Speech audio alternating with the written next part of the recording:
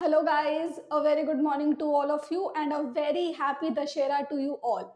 So, this is on this Dashera, let us resolve that, like Lord Ram, we will also crack our examination. We will also be determined to achieve our goals because Lord Ram was the was one archetype for all of us that stands for the determination. Because of his determination, he was able to defeat Ravan, who was such a great leader, such a great warrior. So Taking lessons from Lord Ram, let us resolve ourselves that in today's Dashera or this year from now onwards, we will be preparing hard for our examination. And also, since this is Dashera and a lot of festivals are coming up, therefore, it is very important for you all to stay focused because this is a time of festivity where we also go array, we also try, want to enjoy the festivals. Okay enjoy the festivals. I'm not saying that you need to just stick to the exams prepare for the exams only. No. Enjoy the festival spend time with your family and friends but also take out your time for studying also. Be it only for 2 to 3 hours that's also okay but take out your time okay? And this video i will try to make it short and crisp so that you will get the time to celebrate your dashera happily okay so let's quickly begin this video. But before that, if you haven't subscribed the channel, then do subscribe. And the PDF of this uh, video will be provided to you on our Telegram channel.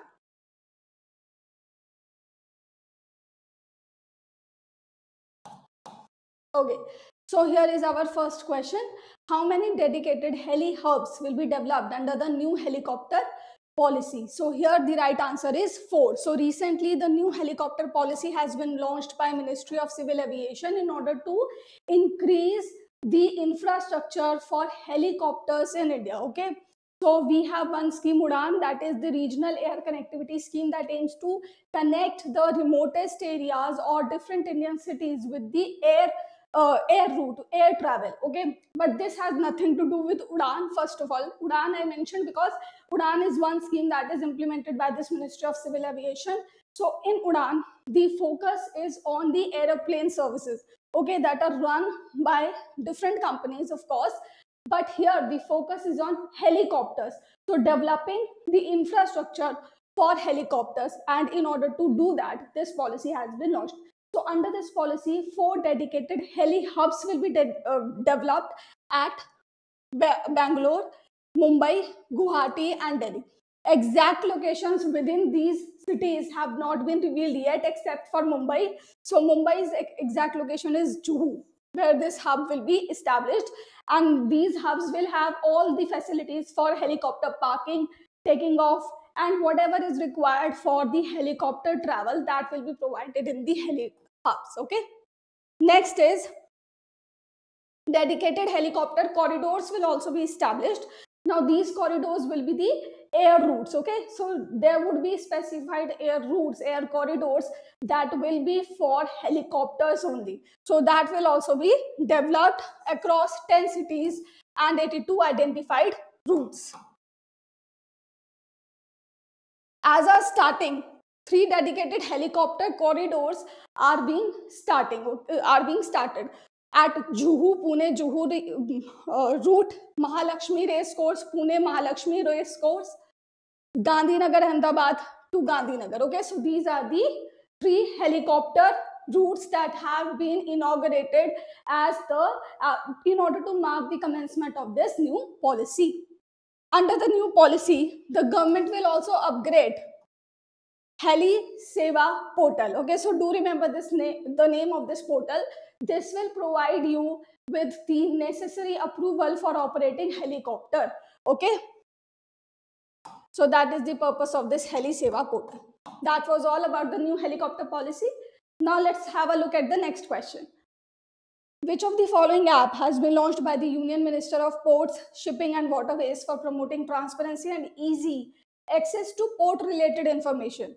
My Ports, Ports India, Seaports, uh, Port Darshan, Sagarmala. So what is the right name? The right name is My Ports. And the purpose is very clear. That is to promote transparency in the shipping operations in the ports operations as well as provide easy access to the information related to the ports. So this is a step towards promoting ease of doing business in India, okay? Because there are many businessmen who operate their work from the ports itself. Export, import take place at the ports. So this application will be helpful for them.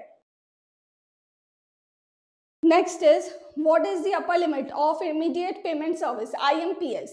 So 2 lakh, 5 lakh, 6 lakh, 3 lakh, 7 lakh. Earlier the limit was 2 lakhs, but right now recently RBI has increased this limit to rupees 5 lakhs. Now guys, IMPS is one service that provides you with instant payment. If you want to do uh, transfer the payments online, then IMPS is one service. Next is RTGS and you have NEFT. So recent developments in RTGS and NEFT has have made both of these services available for 24/7. RBI has made these services available for 24/7. IMPS, which was already available for 24/7, now the limit for doing the transactions by using IMPS has been increased to 5 lakhs. So these steps are a way, or basically these are doing or increasing the payment, digital payment ecosystem in India. Okay. So as you can see, this is the increased limit IMPS, which has been developed by NPCI. National Payment Corporation of India provides 24-7 instant domestic fund transfer facility. Now, this service is accessible through internet banking, mobile banking, banks, ATM, SMS and IVRS. If you want to use this service via SMS and IVRS, then the per transaction limit should be 5000. Okay. So that is the cap, that is the limit for uh, doing IMPS service via SMS or IVRS.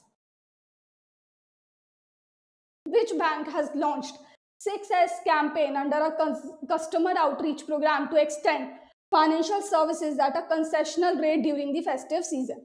So here, Federal Bank, Punjab National Bank, Central Bank of India. Okay, again, option D may, it's not Federal Bank, it's uh, Canara Bank. Okay, in the option. Then in the option E, you have Bank of Baroda. So which one is the right answer, guys? The right answer is option B, Punjab National Bank. So this bank has launched this campaign. Uh, basically, this is a marketing campaign for this bank. But these kinds of campaigns are important because RBI, SEBI, NABARD tend to ask such kinds of questions. NABARD has already gone. The phase one has already gone. But your RBI and SEBI are still impending. So they can be uh, they can be held at the end of this year or in the beginning of this year, no matter what whatever is the time period in which RBI and SEBI is taking the examination, but such kinds of campaigns are important and they can be asked in your exam. Now, under this campaign, basically, Punjab National Bank will extend the financial services to the consumers at concessional rates. And the 6S stands for Swabhiman, Samruddhi, Sampark, Shikhar, Sankalp and Swagat. So these are the 6 Which of the following has been recently declared as the fundamental human right by United Nations Human Rights Council?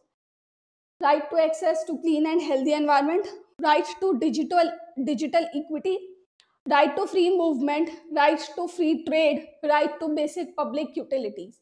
The right answer here is option A.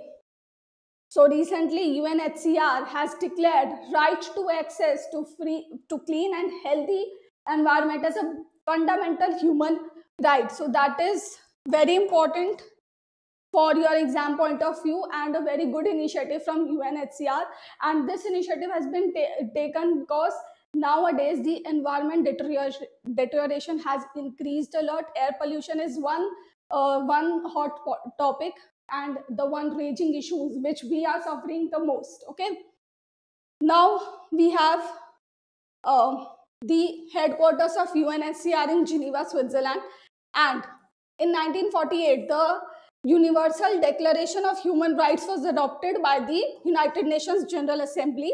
And it has more than 20 human rights enshrined in this declaration. for example right to education right to uh, right to prevent uh, violence torture there are various rights in this declaration you don't have to memorize each one of them just know that this is the latest edition in the fundamental human rights by unhcr so guys here this session ends a very happy dashera again to you all i have left to you early so I hope that you prepare hard, enjoy your festival and do your best. Thank you.